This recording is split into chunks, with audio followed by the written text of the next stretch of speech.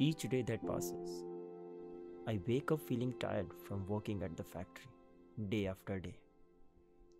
Every time I stand here, I'm always worried about the tons of exams and assignments which I have to do. Though I'm moving, I always feel like I'm going nowhere because of doing the same things over and over again. But when he waves at me, happiness refreshes me to go through my day. But when he greets me, happiness gives me the courage to handle my pressure. But when he smiles at me, happiness gives me the hope to keep going. To these people, along with thousands other in our society, Harnish Kaka is always spreading happiness through the smallest ways. If he can, why can't we? It costs nothing to gift happiness.